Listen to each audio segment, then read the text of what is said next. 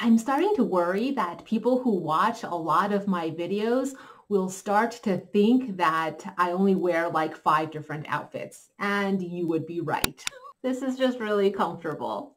I was inspired to share my own commentary on this different types of witches concept after watching maybe a few too many of those videos on the subject and taking a few too many quizzes to see if I'm like a green witch or a blue witch, whatever the list of options may be. So to start, a disclaimer. I don't think it's necessarily productive to talk about different types of witches. There are certainly different cultural traditions of witchcraft and witchcraft in different parts of the world carry different histories.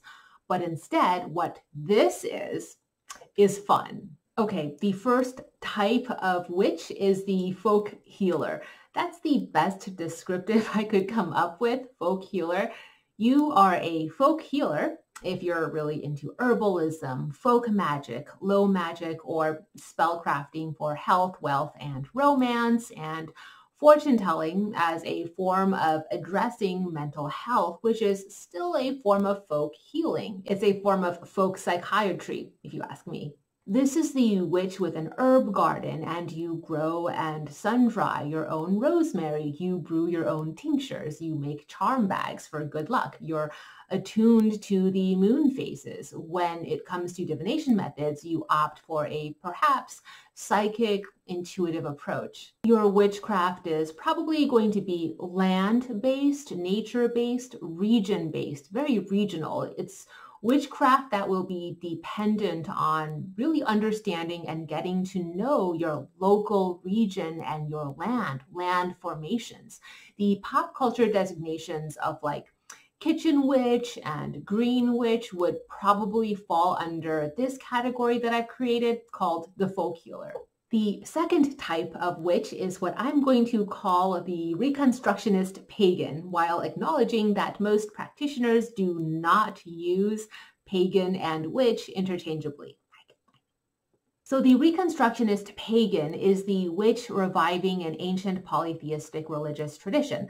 That tradition tends to be connected to a fascination in your own ancestry or in what you believe was your past life. In truth, the Reconstructionist pagan is probably somewhere in between type 1, what I talked about, the folk healer, and type 3, which I will talk about after this. If the folk healer's practices are land-based and region-based, the Reconstructionist pagans' practices are culture-based. Sometimes for some Reconstructionist pagans, culture-based and region-based overlap, so they're a little bit of that folk healer, but sometimes they don't the Reconstructionist pagan celebrates the same holidays that their ancestors or the ancestors of that particular culture would have celebrated.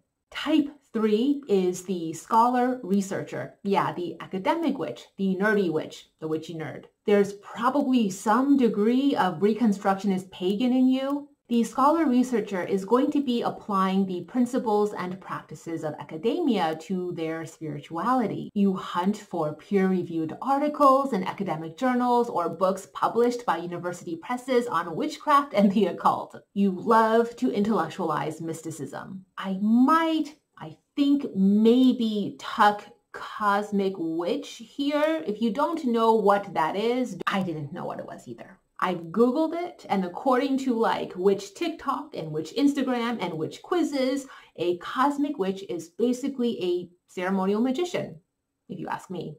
Because according to the online sources that I checked, not very reliable, this is witchcraft that I think, based on my understanding of cosmic witch, they work heavily with astrology where you're going to be consulting ephemeris tables before you do anything witchy at all. I think it sounds like a cosmic witch works with Olympic spirits or planetary spirits. So that's why I said, oh, they're just ceremonial magicians. Oh, I get it. So if you work extensively with ephemeris tables and you really care about void of course moons, you care about horary astrology, and you're really into planetary spirits and planetary hours, I'm going to categorize you under scholar researcher because working with planetary spirits necessitates, I would say, some level of research and also astrological scholarship. The fourth type of witch is what I'm going to dub the witchcore enthusiast. You embrace the aesthetics of witchcraft. This is that whole witches of Instagram and WitchTok movement. You buy a lot of magical and altar tools for the aesthetic. Here's the thing though, I actually am not dismissing witchcore enthusiasts as any less witch. They are most definitely powerful, bona fide practitioners of the craft. In fact, they're probably masters at glamour magic. They're drawing from the power of aesthetics. And this is very much in line with Eastern metaphysical theoretics of qi and feng shui. If the folk healer works magic through the land, which is the natural environment, then the witch core enthusiast works magic through the magus-made environment. The aesthetics you've curated in this magus-made indoor environment all around you is feng shui you're drawing a lot of potent power from the aesthetics. And finally, the fifth type of witch I came up with is the realist conjurer. I got this namesake from realism, the political theory. Think realpolitik.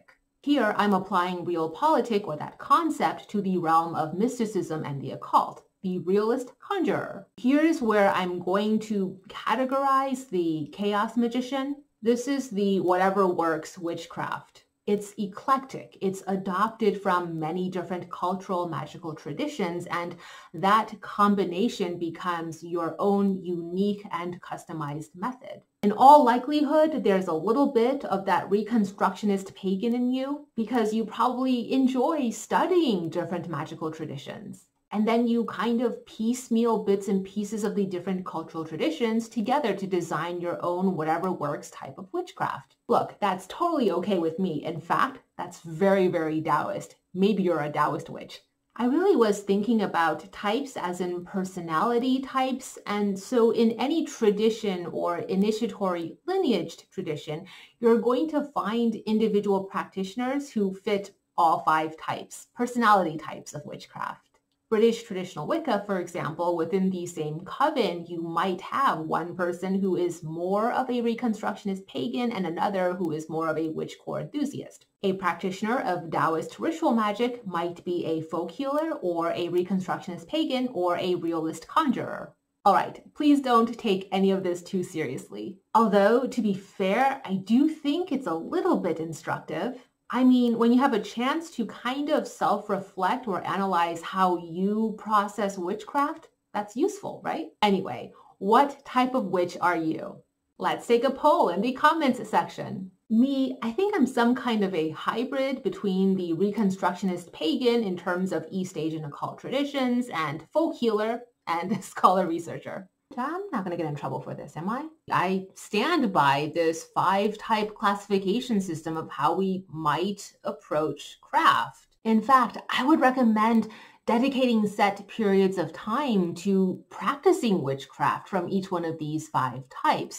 So devote a month to embodying the folk healer and pursuing witchcraft as a folk healer. Devote a month to embodying the scholar researcher and devote another month to becoming the witch core enthusiast, learning how to source your power from aesthetic principles of design. That's my challenge to you. Choose one of these five types, folk healer, reconstructionist pagan, scholar researcher, witch core enthusiast, and realist conjurer. In fact, I'm going to up the stakes.